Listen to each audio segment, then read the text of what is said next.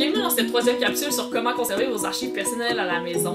Cette semaine, je vous montre comment conserver vos documents papier ou encore des journaux ou articles de journaux.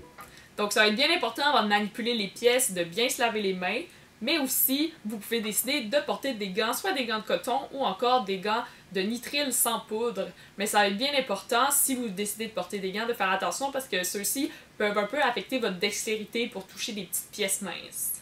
En premier, on va vouloir venir enlever tout ce qui peut attaquer les papiers. Donc, premièrement, tout ce qui est en métal, que ce soit des broches avec lesquelles vos documents sont brochés ou encore des trombones, des petites pinces qui retiennent des feuilles ensemble, on va vouloir enlever ça parce que ça, ça peut rouiller et ça peut venir faire des taches sur vos papiers.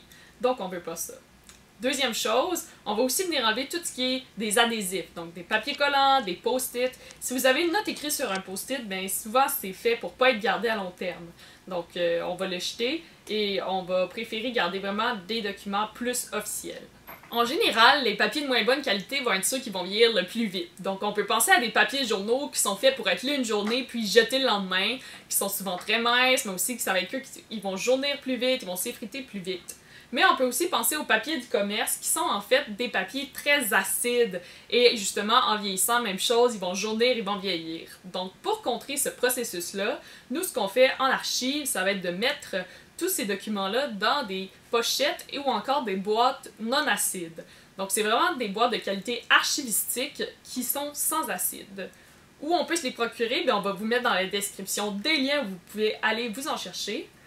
Donc, il existe un crayon pour savoir si nos pochettes ou encore nos boîtes sont acides ou non. Donc, l'encre va changer de couleur selon l'acidité du papier. Si vous avez des grands formats de papier, par exemple un journal complet ou encore une carte ou un plan, ce qu'on va venir faire le plus possible, c'est de les entreposer à plat. Euh, on sait que c'est pas toujours facile si vous avez un espace restreint, donc dans le cas d'une carte, par exemple, on va pouvoir venir la rouler. Ce qu'on veut à tout prix éviter, ce sont les plis, parce que le pli va affaiblir le papier, puis dans le long terme, ben, ça va avoir plus de chances de déchirer ou encore de fondre euh, à cet endroit-là. Si on a plusieurs petites coupures de journaux, ce qu'on va vouloir faire, c'est venir se créer un album, comme un album photo. Donc, je vous invite à aller voir euh, notre capsule sur comment conserver les photos imprimées. Donc, on va vouloir prendre des pochettes de polypropylène et venir glisser les articles comme ça. Donc là, c'est à vous de voir est-ce que ça va vous prendre des pleines pages ou encore des plus petits formats comme euh, pour des albums photos. Finalement, quand nos albums ou encore nos dossiers papier vont être bien arrangés, on va vouloir venir les mettre dans un contenant fermé pour éviter l'accumulation de poussière qui pourrait venir attaquer les papiers. On va essayer d'avoir un contenant sans acide, mais bon, à la maison, ça peut être un peu plus difficile.